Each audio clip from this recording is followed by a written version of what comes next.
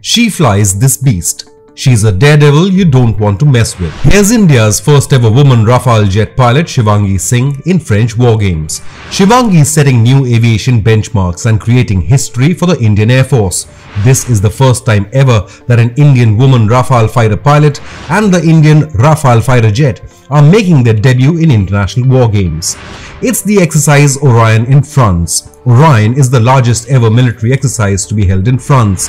The multinational war games also see 7,000 NATO troops take part, where the air forces and ground troops of US, UK, Greece, Spain, Italy and the Netherlands are showcasing their skill. Flight Lieutenant Shivangi is flying one of the four Rafale jets representing the Indian tricolour. She joined the Indian Air Force in 2017 in IAF's second batch of women fighter pilots. Shivangi Singh flew the MiG-21 Bison aircraft back then, but in 2020 she was given command of the state-of-the-art Rafale fighter jet after a rigorous selection process. Shivangi Singh is now part of the prestigious IAF Golden Arrows squadron which is based in Punjab. Earlier this year, another Indian woman aviator created history when squadron leader Avani Chaturvedi went to Japan for exercise Dharma Garjan, becoming India's first ever woman fighter pilot to take part in any international war games.